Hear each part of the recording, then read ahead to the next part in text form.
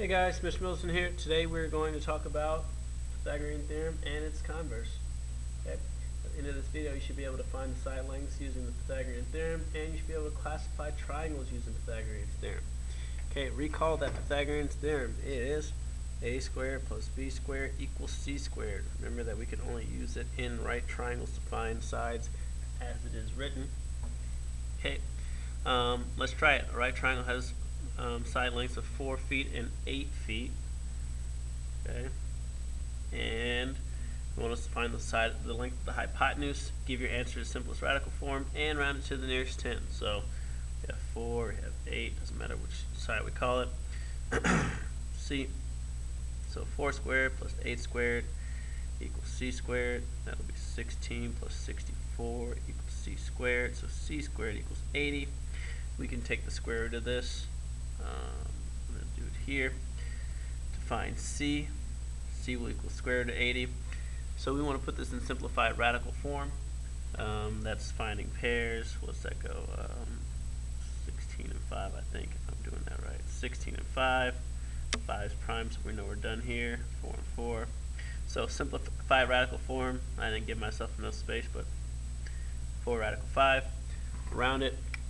I can use my calculator and do radical 80, and that gives me 8.9. Okay, to the nearest 10. Alright. Alright, um, so there we go, using Pythagorean theorem. Um, Pythagorean triple. Pythagorean triple is a set of whole numbers that represent side lengths of a right triangle. To see if a set of numbers is a Pythagorean triple, you just plug it into the Pythagorean theorem and see if it works or not. Okay, so um, we have 8, 16, 24. You can just plug it in. Um, 8 squared plus 16 squared equals 24 squared. We'll see if that works. And you can always tell how this is going to be set up because the hypotenuse has to be the biggest of the sides. And so um, 64 plus um, 1, that, nope, it can't be 196. 19 times 19, 361.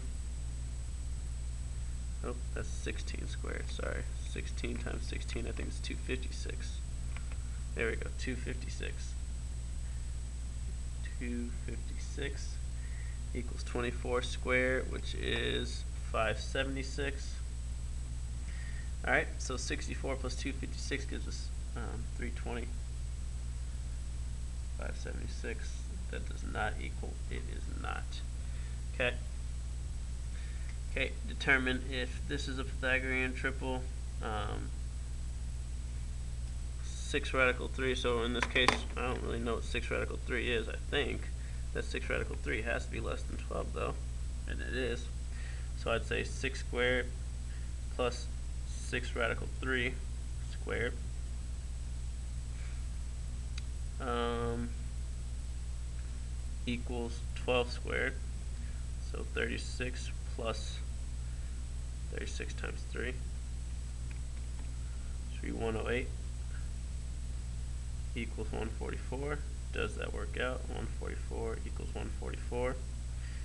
So that works. I'll say yes.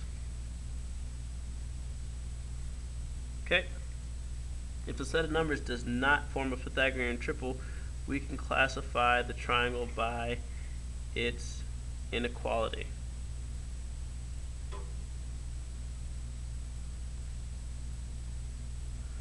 Okay. If c squared is greater than a squared plus b squared, then we know that the triangle is obtuse. If c squared is less than a squared plus b squared, then we know that it is acute. Okay, so you can think of it as if the hypotenuse is really big, it's an obtuse triangle. If the hypotenuse is too small, it's acute. Okay, so we're going to classify this triangle by its angles. Okay, which side lengths? Um, so we have a triangle 4, 6, 7. We're going to see whether it's acute, obtuse, or right. It can still be right. Okay, again, the, the tip for this is to make sure that you have what would be the hypotenuse by itself. The largest number has to be the, the number by itself. So you have 16 plus 52, oh, sorry, plus 36, thinking ahead, equals 49. So we'll have 52 and 49. Okay, I just kind of put this equals here as a placeholder because I don't know what this inequality is going to be. But now I see that AB is greater than C. So since A squared and B squared is greater than C squared, I know that this is going to be an acute triangle. Okay, if the legs are bigger, it's acute. If the hypotenuse is bigger, it's a uh, hypotenuse.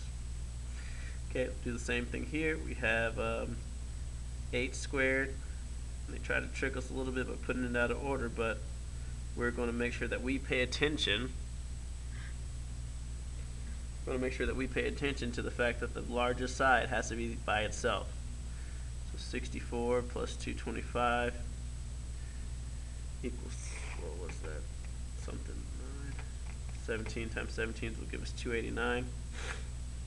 So that will give us 289 equals 289. That equals, and so therefore it is a right triangle. Okay, so it still can be a right triangle because if, it, if Pythagorean theorem works out, it is right. All right, so um, identifying um, the triangle is obtuse, acute, or right using Pythagorean theorem. All right, application here.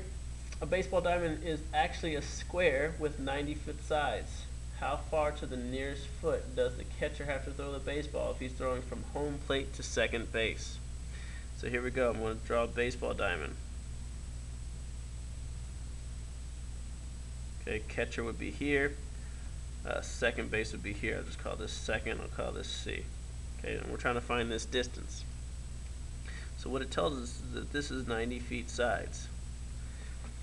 And since this is a square, I know this is 90 degrees. Okay, and basically what they're asking us for is this distance. And we can find this distance because this is going to be a right triangle. We can find this distance um, of the hypotenuse by saying 90 squared plus 90 squared equals our hypotenuse squared. I'm just going to call it h squared.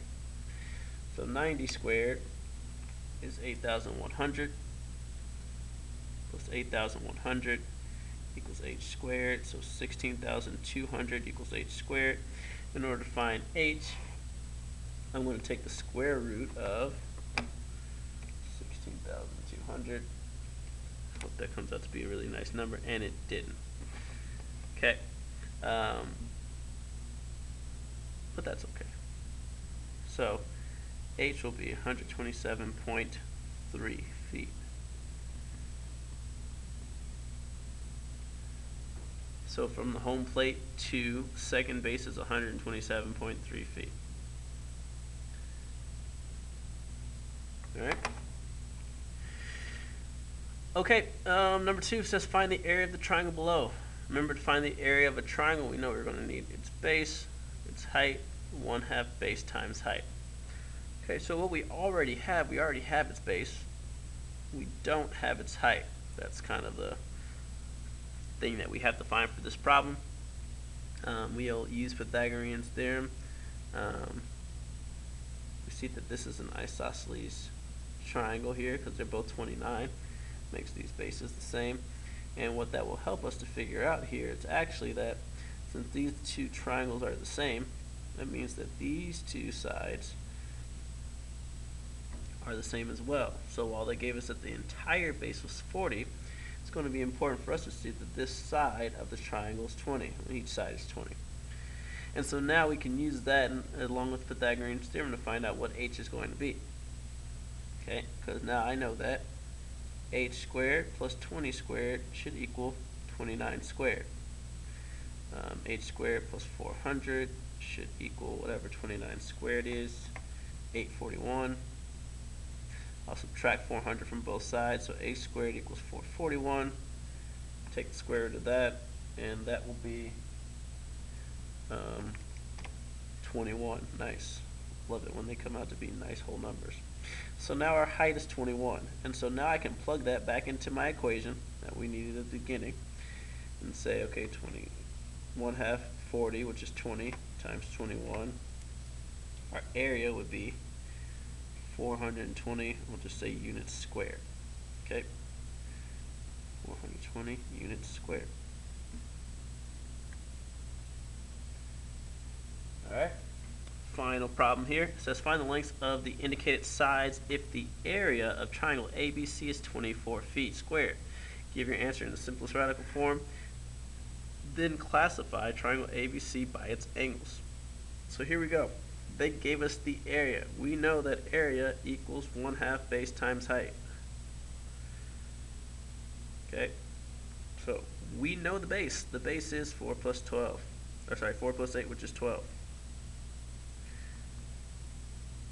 Alright, so now we can use this and say, okay, well, if the area, sorry, we also know the area is 24 feet. So if the area is 24, we know this equation, I'm just going to rewrite that because that's messy. 24 equals 1 half base, which is 12, times height. Well, we can find the height because it's the only thing we don't know. 24 equals 6h. I'll try to get h by itself by dividing by 6. And so h will equal 4. This is our height. Okay. Um, so now it asks us to find AB, which we can find in simplest radical form by using Pythagorean's theorem, which will say 4 squared plus 4 squared equals, let's call this x, x squared. So 16 plus 16 equals x squared, x squared equals 32. Take the square root of that. x will equal 16 times 2 or 4 and 4, 4 radical 2. So AB is 4 radical 2. Okay, and now they ask us to find BC. Again, we can do the same thing because it's just a right triangle um, on the other side. So 4 squared plus 8 squared will equal y squared. 16 plus 64 equals y squared. y squared will equal 80.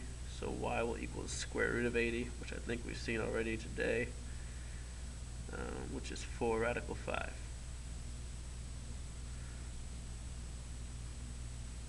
Finally, they ask us to classify triangle ABC. Um, and they're asking us to classify by its angles. Well, ABC is going to be, um, okay, ABC is this big triangle here, right? And so we have the sides 4, 4 radical 2, we have the sides 4 radical 5, and then we have this side 12. And so we'll use that in Pythagorean's theorem.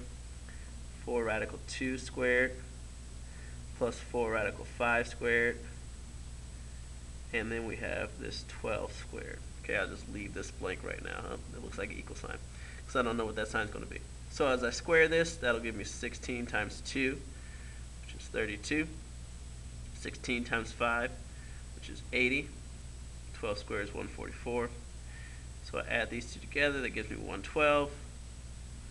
112 is less than 144. So a squared plus b squared is less than c squared. That lets me know that this is an obtuse triangle. Alright, so a little bit of everything on that last problem. Hopefully you are uh, got used to using the Pythagorean theorem um, and its converse to find the sides and to identify and classify triangles. Alright, see you.